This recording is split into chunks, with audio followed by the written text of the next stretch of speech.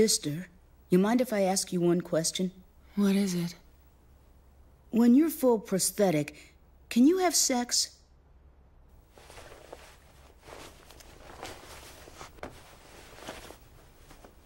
You care to find out? Another time.